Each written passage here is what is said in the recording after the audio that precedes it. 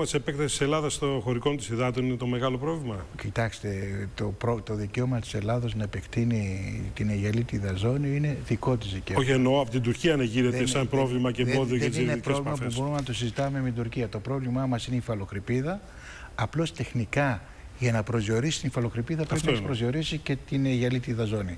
Εγώ έκανα μια δήλωση στη Βουλή, η οποία πέρασε έτσι, γιατί υπόθηκαν σοβαρά πράγματα. ΑΟΣ έχετε λέτε. δίκαια.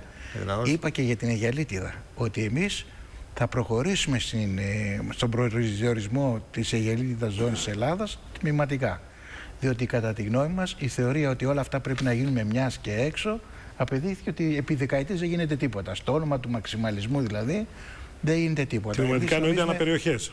θα το δούμε αυτό. Εμέ- Εγώ νομίζω και πρέπει να ξέρετε ότι με βάση το διεθνές δίκαιο κάθε επέκταση της Αιγαλίτιδας ζώνη, π.χ. από τα 6 στα 12 μίλια, σημαίνει επέκταση του χώρου κυριαρχίας της Ελλάδας. Διότι η διαφορά μεταξύ ΑΟΣ και Αιγαλίτιδα ζώνης είναι ότι η Αιγαλίτιδα ζώνη, το λέω εσείς τα ξέρετε, ναι. αλλά οι ακροατές που μας ακούνε, είναι ότι η ΑΟΣ είναι δικαιώματα, δεν είναι κυριαρχία.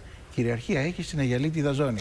Και πρέπει να ξέρετε ότι η Αιγαλίτιδα ζώνη έχει μεγάλη σημασία για τον προσδιορισμό της ΑΟΣ με όλες τις χώρες. Παραδείγματος χάρη ιδιαίτερα με την ε, Αλβανία. Έχει σημασία. Αν ξεκινήσεις να προσδιορίσεις την ΑΟΣ Τα 12 μίλια. Για... από τα 6 ή από τα 12 μίλια έχει σημασία ακόμα και για την Ιταλία και για τα δικαιώματά της που, έχει, που θεωρεί ότι έχει παραδοσιακά πάνω στην αλία. Ξέρετε, οι Ιταλοί ψαράδες ψαρεύουν πάρα πολύ εντατικά ανάμεσα στα 6 και στα 12 μίλια.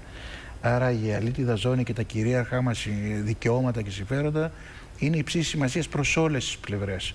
Και η ελληνική πολιτεία έχει έτοιμα, το, έτοιμο το πώς θα μεθοδεύσει όλη αυτή τη Άρα τα, διαδικασία. 12, άρα τα 12 μίλια να είναι πάμε- θέμα, είναι θέμα ε, συζήτησης στο ταξίδι που κάνετε στην Ιταλία αύριο. Όχι, τα 12 μίλια δεν τα συζητάμε με κανένα γιατί είναι Το δικαίωμα θέμα, της το χώρας. θέμα του Ε, ρωτάω. Ισραήλ. Εγώ λέω δεν το συζητάω τα 12 μίλια. Γι' αυτά ανακοίνωσα. Μανώλη, να μην κάνω. ανοίξουμε θέματα και με την Ιταλία τώρα, έτσι. Γιατί όχι. Και έχει Είναι ανοιχτό ενδιαφέρον. θέμα. Είναι, είναι, με την Ιταλία έχουμε μια ενδιαφέρουσα συζήτηση που υπήρχε.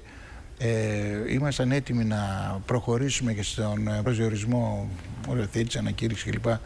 της ΑΟΣ, αλλά υπήρξαν προβλήματα της Ιταλίας με τη Γαλλία Ναι. στην, από την άλλη πλευρά που Λοιπόν, δυσκόλεψε. βάλτε μια, βάλτε Ελπίζω μια, να τα λύσουμε όλα.